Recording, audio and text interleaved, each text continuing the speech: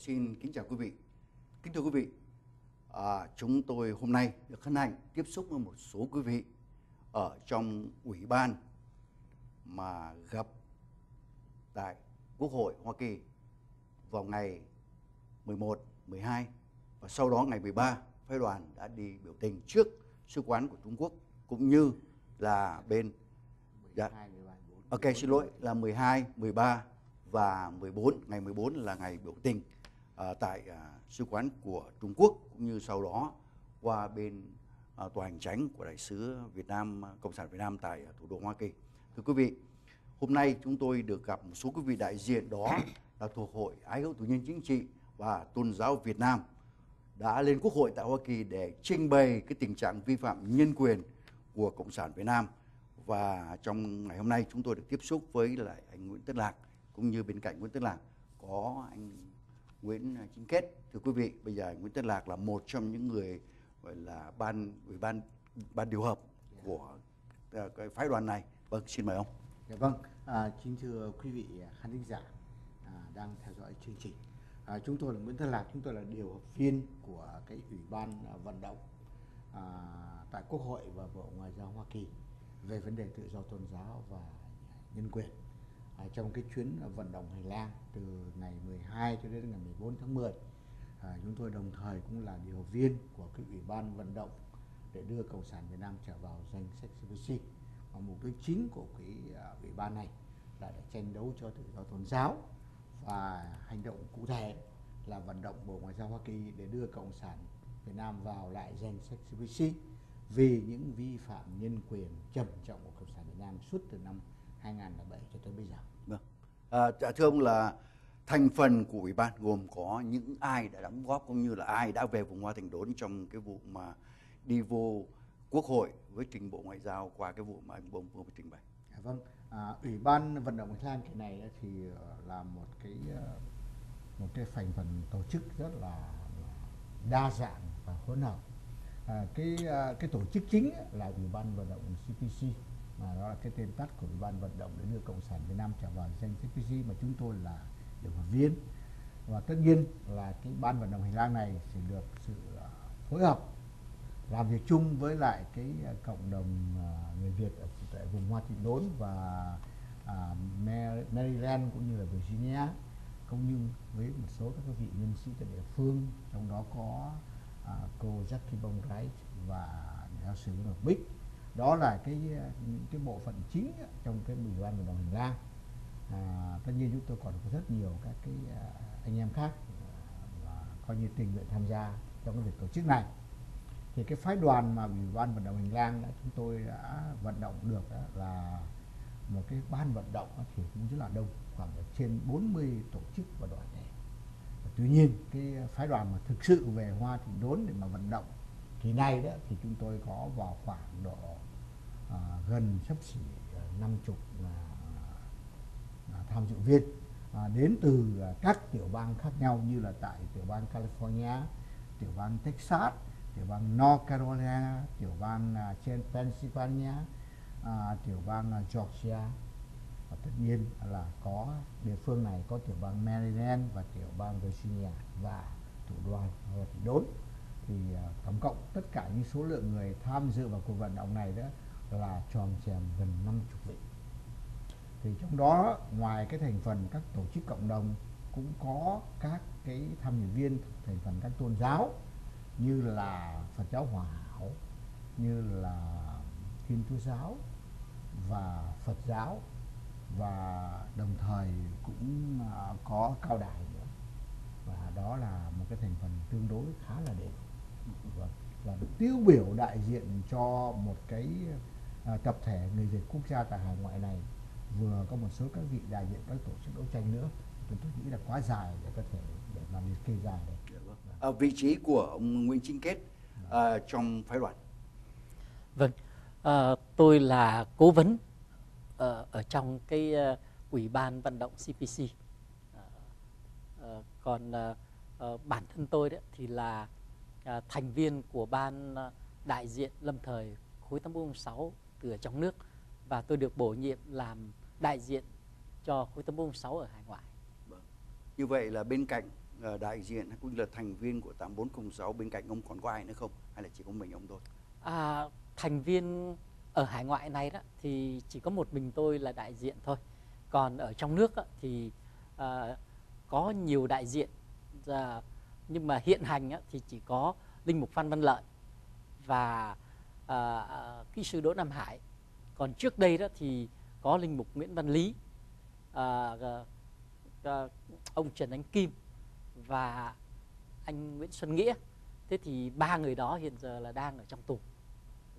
Vâng vâng. Cái sự tiếp tay của những người hay là các cơ quan hay các tổ chức tại ngoài thành Đốn cho phái đoàn Dạ vâng, à, chúng tôi được sự um, hợp tác với uh, ban đại diện cộng đồng uh, người Việt quốc gia tại vùng Hoa tịnh Đốn uh, và cái người chủ tịch uh, là anh Đỗ Hồng Anh và người đồng chủ tịch uh, là cựu dân biểu Lý Hiện Tài. Và tất nhiên là trong cái uh, thành phần uh, tổ chức có một số vị nữa là tiếp tay với chúng tôi trong việc tổ chức cái uh, cái cuộc vận động ở tại uh, quốc hội và cũng nhiều bộ ngoại giao vấn đề là tiếp đón phái đoàn các nơi đến rồi vấn đề à, à, à, họp mặt với nhau để mà chuẩn bị cho cái cuộc vận động à, suốt trong ba ngày đó. Rồi thì là cái cuộc à, dàn xếp à, để mà hẹn với bộ ngoại giao để mà được mua gặp với một cái phái đoàn là hai chục người. Đó là cái con số chính thức sau cùng. Số người là sẵn sàng vào bộ ngoại giao là lên tới ba mươi mấy. Tuy nhiên bộ ngoại giao chỉ có cho phép hai mươi à, người mà có thể tham gia vào thôi thì cái 20 người đã tham gia này cũng là phải được chọn lọc rất là kỹ lưỡng lại để có một cái thành phần có chút tiêu biểu có đại diện các tôn giáo có đại diện các cộng đồng có đại diện các đoàn thể. Thành ra là cái uh, cái sự tiếp sức của cái hoa động của cái uh, ban đại diện cộng đồng của vùng thành đố này đó là một cái cuộc mà tiếp tay uh, giúp đỡ uh, rất là uh, tốt và rất có thể nói như là, là hữu hiệu. Và chúng tôi đã ở đây từ ngày 12 cho tới ngày 14 và đã coi như là suốt thời gian đó là dùng toàn bộ thời gian vô tất cả những cái việc gì mà có thể làm được. Thì là đến à, tại quốc hội để mà thăm viếng các cái văn phòng dân cử nghị sĩ cho dân biểu. Rồi thì là đến bộ ngoại giao và sau cùng thì là có một cái cuộc biểu tình à, ở tại trước cái tòa đại sứ cộng sản việt nam. Và coi như cái văn phòng làm việc của tòa đại sứ cộng sản việt nam đang sửa chữa và ngay trước cái tòa đại sứ của cộng sản trung quốc Dạ vâng. À, thưa ông uh, Nguyễn Chính Kết, cái nhận định của ông về à, tất cả những sự việc mà trình bày tại Quốc hội cũng như tại Bộ Ngoại giao của phái đoàn, cái nhận định của ông. À, nói chung á, thì uh, chúng tôi trình bày cho các uh, thượng nghị sĩ uh, cũng như là các dân biểu cũng như là Bộ Ngoại giao uh, vấn đề việc uh, cái sự vi phạm của cộng sản Việt Nam uh, về vấn đề tự do tôn giáo cũng như là vấn đề nhân quyền uh, của cộng sản Việt Nam. Uh, và chúng tôi đề nghị với họ đó là làm sao để mà uh, cả, uh, uh, chính phủ Hoa Kỳ dùng cái những cái ưu thế của mình để mà áp lực cộng sản Việt Nam uh, phải tôn trọng nhân quyền đặc biệt là uh, tự do tôn giáo và đồng thời thả những cái uh, tù nhân đang uh, mà họ cộng sản đang giam giữ và đặc biệt nhất đó, đó là uh, đưa Việt Nam trở lại vào danh sách CPC. Uh, lý do đó là uh, trước đây khi mà uh, cộng sản uh, Hoa Kỳ đưa cộng sản Việt Nam vào danh sách CPC đó, thế thì có một cái tác dụng rất là tốt uh, là cộng sản Việt Nam đã phải chùn tay đàn áp các tôn giáo. Nhưng mà sau khi mà cộng sản Việt Nam được Hoa Kỳ rút tên ra khỏi uh, cái cái danh sách CPC đó thì cái sự gia tăng đã đàn áp uh, đối với các tôn giáo rất là mạnh mẽ. Và điều rất là lạ đó, đó là trong cái thời gian vừa qua đó thì mặc dù là cộng sản Việt Nam đàn áp các tôn giáo mạnh hơn là là trước đây ờ, trước khi mà cộng sản mà Hoa Kỳ đưa Việt Nam vào danh sách CPC lần trước đó, thì nếu mà so sánh cái thời đó với lại cái thời bây giờ đó thì phải nói là hiện giờ cộng sản Việt Nam đàn áp tôn giáo mạnh hơn là thời đó rất là nhiều thế nhưng mà uh, không hiểu trong cái uh, năm trong cái thời gian mấy tháng vừa qua đó khi mà trong cái đợt đưa các uh, nước vào danh sách CPC đó thì Hoa Kỳ lại không đưa Việt Nam vào danh sách CPC thì điều đó là một cái điều uh, có thể nó nó nó không hợp lý. Dạ. Vâng. À, trong những tuần của vừa qua đó nhất là California chúng ta cũng như là tất cả người Việt Nam hay ngoài đã được nghe một linh mục Việt Nam nói rất là phải nói là cố gắng trình bày những cái điểm mà ông ta biết linh mục đó biết ở Việt Nam. Chúng tôi muốn nói đến linh mục Khải đó. Yeah, dạ vâng. ok Nguyễn Văn Khải đó. Thì khi nghe cái đó đó à, với vị trí là vấn đề tự do tôn giáo đó hiện nay ông ấy chính kết vừa nói trình bày đó thì bây giờ linh mục Khải nói thì cái sự nhận định của ông như thế nào về linh mục Khải à, có thể nói là ờ, tôi tôi cho rằng linh mục Khải đã, đã nói một cách ờ, rất là xác đáng và uh, đầy đủ và đồng thời cũng rất là rất là gọn về cái uh, chính sách đàn áp tôn giáo ở Việt Nam. Nói chung là cộng sản Việt Nam tìm đủ mọi cách để mà hạn chế cái sự phát triển cũng như là Ờ, là hoạt động của các tôn giáo. Thế nhưng mà họ vẫn do cái áp lực ờ, của quốc tế đó thì họ vẫn cố gắng làm sao để để có một cái vỏ bên ngoài của vấn đề tự do tôn giáo nó nó tương đối uh, nó làm cho quốc tế không đến nỗi mà phải kết án uh, và cũng nói chung á, là uh, tôi thấy uh, cộng sản Việt Nam trong tất cả mọi ờ, mọi vấn đề uh, khi mà phải đối diện với lại cái áp lực quốc tế đó thế thì họ luôn luôn tìm cách là là tạo một cái vỏ bên ngoài cho nó tương đối đẹp. Còn ở bên trong đó là ờ, thực chất thì không có. À, như vấn đề à, à,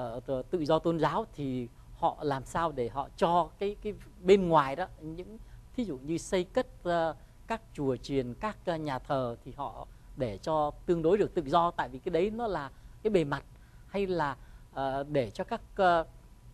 các nhà các tín hữu các uh, tín đồ được tới chùa được tới ấy một cách thoải mái. Uh, uh, thế nhưng mà đó chỉ là một cái cái cái những cái gì hết sức là bên ngoài của một cái tôn giáo mà thôi. À, à, chứ còn thực chất của một cái tôn giáo đó nó nó nằm ở trong cái lĩnh vực giáo dục. Ờ, nó nằm ở trong những cái vấn đề sinh hoạt à, và để mà phát triển được những cái uh, uh, uh, phát triển được cái tôn giáo đó, đó thì nhiều khi uh, tôn giáo cũng cần phải có kinh tế uh, và có nhiều cái uh, uh, lĩnh vực khác. Thế nhưng mà họ hoàn toàn họ triệt mấy cái đấy. Thì tôi tôi cho rằng linh mục uh, khải là nói một cách rất là chính xác và có thể nói nói đúng cái uh, cái cái cái tim địa cái cái yếu điểm của vấn đề. Dạ. theo ông thì có thể là linh mục khải có cơ hội về việt nam trở lại không?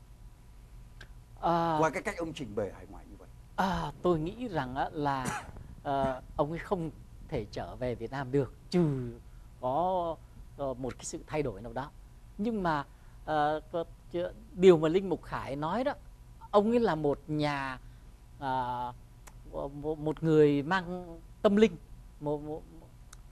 uh, một vị lãnh đạo tôn giáo. Thành thử ra là ông tin tưởng vào cái quyền năng của thiên chúa. Cho nên ông ấy nói rằng là nếu mà thiên chúa đã tạo điều kiện cho ông ấy ra hải ngoại này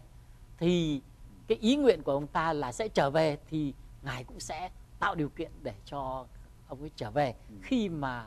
uh, sau cái thời gian ông ấy học uh, tốt nghiệp ở bên uh, Roma về thần học. Ừ, vâng. À, thưa anh Lạc, à, tất cả những cái sự báo cáo phúc trình của các thành phần của các phái đoàn đó chúng ta nhìn thấy hiện nay cũng như là ông Nguyễn Chính Kết vừa nói đấy cái vi phạm tôn giáo Việt Nam không giảm mà càng tăng trong những năm vừa qua. Bây giờ mình có một cái kế hoạch nào hay mình có phương cách nào để rồi từ đó đó mình, phúc trình hay là các phái đoàn đi đến cái vị trí nếu được đó, ít nhất là cái phần trình bày của phái đoàn nó hữu hiệu hơn và mình có thể đo lường được cái sự mà giảm hay là mình bắt ở trong nước nó có những cái mà cái sự đàn áp tôn giáo đó đã ảnh hưởng tới cả một chính sách quốc gia của họ hay không. Còn nếu không thì chúng ta cứ lập đi lập lại như thế này, có thể đây là một trong cái mà chính Nguyễn Chính Kết nói là hiện nay nó không có tiến triển mà nó còn bi đát hơn nữa. Vâng xin mời ông thực sự đó là chúng tôi, theo cái nhìn chúng tôi đó, thì cái việc cộng sản việt nam nó vi phạm về tôn giáo cái trầm trọng mà rất là rõ ràng. Gần đây nhất là linh mục nguyễn văn khải. Có thể coi như là một chứng nhân của cái việc cộng sản việt nam đàn áp tôn giáo một cách trầm trọng. Linh mục nguyễn văn khải đã có cái dịp nói, và linh mục nói rất là mạnh mẽ. Linh nói là ở việt nam không có tự do tôn giáo chứ không phải là đàn áp nữa. Tức là hoàn toàn không có. Thế có nghĩa là là gì? Là mọi cái quyền tự do tôn giáo, có thể là sơ đẳng nhất, cũng không có nữa. Mà lý Mục Khải đã coi như là khẳng quyết là như vậy. Bây giờ trở lại cái vấn đề là gì? Làm thế nào mà để mà có thể là chúng ta thuyết phục chính phủ Hoa Kỳ là tin vào những cái điều đó là thật? Thì cái điều đó chúng tôi nghĩ rằng đó là sắp tới đây chúng ta là những người Việt Nam có một phần phải làm cái điều đó. Tại vì thực sự đó chúng tôi chúng hiểu thì chính phủ Hoa Kỳ có thể là biết. Họ cũng nhìn nhận ở trong cái báo cáo thường niên vào cái tháng 9 vừa qua à, là những cái sự vi phạm tôn giáo ở Nam vẫn còn và nghiêm trọng. À, tuy nhiên vì cái chính sách quốc chính sách ngoại giao của Hoa Kỳ đối với Việt Nam có những cái điểm đặc biệt như là Hoa Kỳ đang muốn kéo Việt Nam vào gần với Hoa Kỳ hơn vì cái quyền lợi của Hoa Kỳ và tất nhiên, Hoa Kỳ không muốn đẩy Cộng sản Việt Nam ra xa hay là đẩy Cộng sản Việt Nam đi với Trung Cộng. Thế cho nên Hoa Kỳ đã phần nào gượng nhẹ trong cái việc mà áp dụng cái chính sách ngoại giao của Hoa Kỳ đối với Việt Nam, đặc biệt trong cái vấn đề mà nhẹ tay trong vấn đề áp dụng những cái biện pháp trừng phạt. Nếu đặt Việt Nam vào lại danh sách CPC điều đó không có nghĩa là Hoa Kỳ là sẽ không làm gì cả. Và chúng tôi chính vì thế nên chúng tôi mới phải có một cái cuộc vận động với bộ ngoại giao để có cái cơ hội trình bày ngoại giao với rằng là, thưa quý vị quý vị có những báo cáo như vậy qua cái vị đại sứ, nhưng mà những cái đó đó là những cái đó có thể vị đại sứ không nhìn thấy và chúng tôi cũng có cái gì để muốn nói với bộ ngoại rằng là cái chính sách ngoại giao của Hoa Kỳ đối với Việt Nam nhất là trong phạm vi tôn giáo, thì Hoa Kỳ cần phải quan tâm đến cái quyền lợi của người dân Việt Nam, chứ không phải là cái quyền lợi của cái chính quyền Việt Nam, hay là cái an ninh quốc phòng của Việt Nam, hay là cái an ninh biển Đông của quốc tế. Cần phải có một cái sự quân bình và cần phải lắng nghe cái tiếng nói của cái cộng đồng người Mỹ của chúng tôi là những người hiểu cộng sản Việt Nam hết, chúng tôi có những chứng cớ đây là những vụ vi phạm trầm trọng. Chúng tôi yêu cầu quý vị phải xem xét lại trong cái vấn đề quyết định cái chính sách ngoại giao trong cái việc đặt Việt Nam vào danh sách CPJ hay không. Và nếu không thì quý vị phải có những cái biện pháp gì khác nhằm ngăn chặn những cái sự vi phạm tự do tôn giáo nó sẽ có thể tiếp tục. Và nếu quý vị không có xem xét cái chuyện này kỹ không có những biện pháp gì mà đủ mạnh để mà ngưng những cái chuyện đàn áp vi phạm của tôn giáo. Như chúng ta đã thấy là bắt linh mục lý trở lại nhà tù trong khi linh mục lý là một cái người bệnh hoạn hay là bắt à, những cái à, blogger là những người mà chỉ có là à, trao đổi tin tức hay là à, tham gia vào một những cái sinh hoạt mà biểu tình chống lại cái việc à, xâm lăng của Trung Cộng. Họ là những người thiên chúa giáo hay là tin lành? Tại sao lại nhắm vào những người đó? Đây là một cái sự đàn áp tôn giáo một cái gián tiếp được che đậy bởi những cái lý do có tính chất ví dụ như là lật đổ ấy quốc phòng hay là kể cả những cái chuyện khác. Tôi thấy có rất nhiều người bị bắt. Mà chứng cớ bảo rằng là những người này tham gia vào những uh, hoạt động có nhất là đổ hay là tuyên truyền chống phá nhà nước chúng thấy hoàn toàn là nó không có cái căn cứ mà xác đáng. Thì chúng tôi muốn nêu cái vấn đề đó ra với bộ ngoại giao. Nếu chúng ta không có tiếng nói gì cả thì bộ ngoại giao sẽ cứ căn cứ trên những cái tường trình của vị đại sứ và có thể rằng là sẽ áp dụng cái đó mà coi nhẹ cái quyền lợi của nhân dân Việt Nam ừ. cũng như là coi nhẹ cái quyền lợi của người mà cử tri những cái Việt. Thì đây là lúc chúng ta phải lên tiếng đó là lý do tại sao chúng ta phải tổ chức một cái phái đoàn, vừa gặp bộ ngoại giao là vậy. Chúng tôi đã gặp vị đại sứ đặc biệt, phụ chịu trách nhiệm về vấn đề tự do tôn giáo quốc tế. Chưa có bao giờ cái vị đại sứ gặp cộng đồng. Nhưng mà ngày nay kỳ này kỳ vị sứ đến gặp với chúng tôi, chụp một tấm hình chung. Và sau đó vì bận họp, cho nên không ngồi lại để mà nghe chúng tôi trình bày. Nhưng đại diện những người làm việc dưới quyền vị đại sứ đã ngồi đó để nghe chúng tôi trình bày các vị lãnh đạo thân thần các tôn giáo trình bày rất nhiều trường hợp vi phạm nhân quyền như là những chứng cứ cụ thể và yêu cầu bộ ngoại giao là phải cứu xét những trường hợp này phải nói chuyện với cộng sản việt nam. À, cái vị đại sứ này sẽ đi việt nam trong vòng một vài tuần nữa. Tất nhiên tất cả những vấn đề mà chúng tôi nêu ra sẽ được đề cập đến. Ở đối với quốc hội thì bao nhiêu thượng nghị sĩ và bao nhiêu dân biểu mà quý vị đã tiếp xúc? Một cách trực tiếp chúng tôi đã tiếp xúc với 8 vị nghị sĩ đối với các vị dân biểu thì chúng tôi cũng tiếp xúc với một số lượng vào khoảng là mười mấy dân biểu khi mà cái phái đoàn lên đây đó, thì có cử tri nào của dân biểu nào là chúng tôi đều có thể lấy để cái hẹn. Bởi vì đó là cái luật các dân biểu sẽ hoàn toàn chấp nhận cái cuộc gặp gỡ.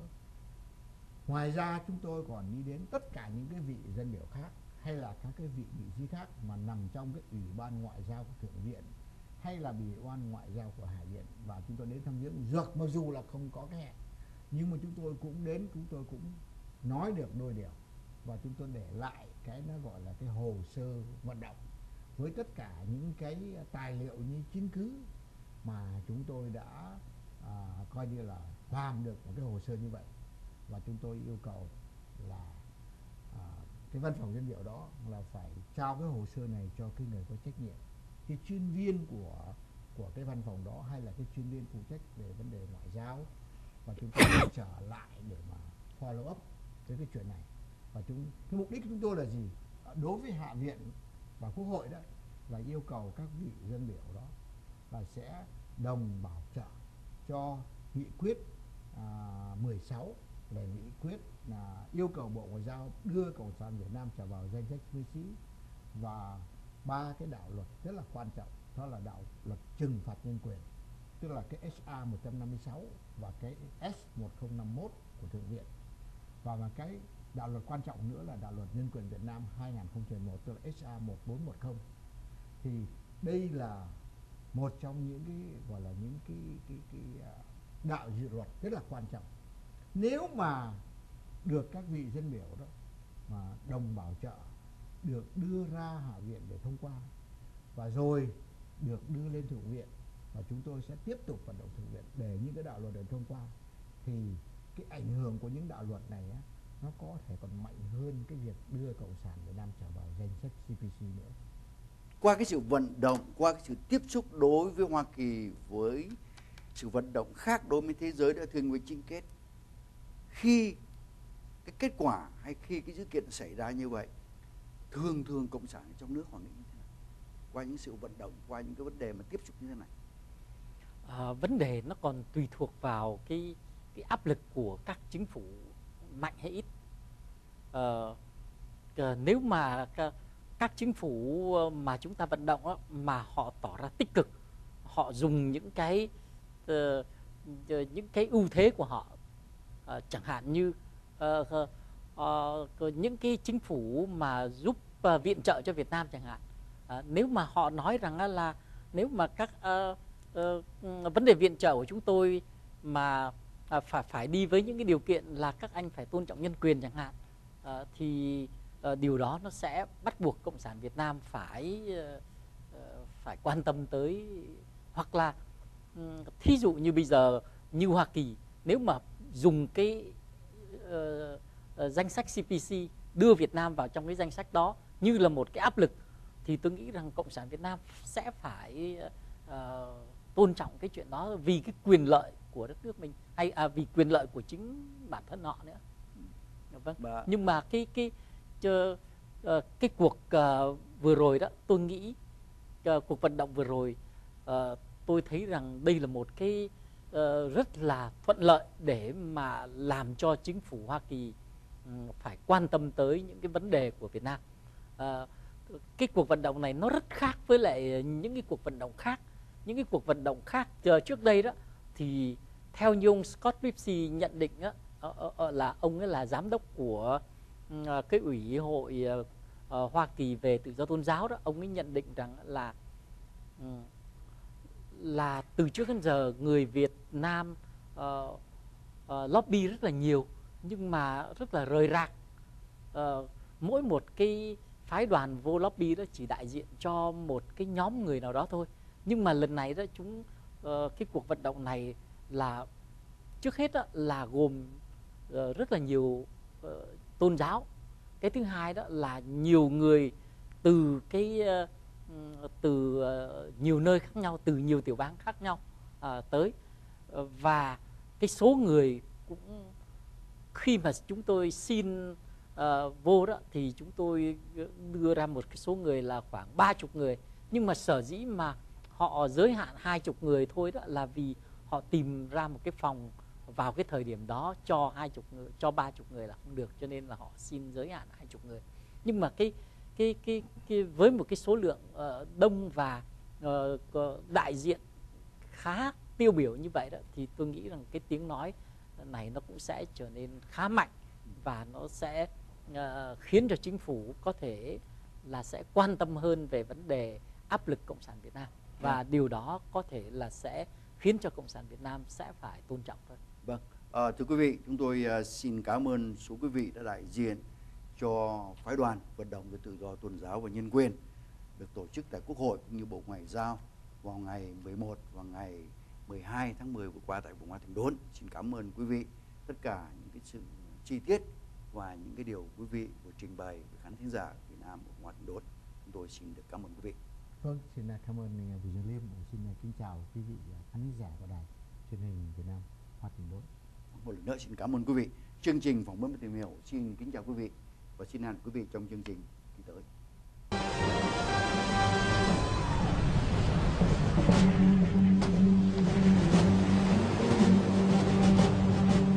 Đạp lời sông núi, anh em ta đáp lời sông núi. Tổ quốc lâm nguy, sương máu này tâm hình nhân dân đời sông núi, anh em ta đáp lời sông núi. Quyết bảo vệ gian sáng, ta thể chết cho quê hương. Đây một chiều con tim đây một chiều khối óc cùng dòng máu việt nam. Đây hưng đạo vương đây lý lệ trần bốn ngàn năm chưa một lần khôi phục ngoài xanh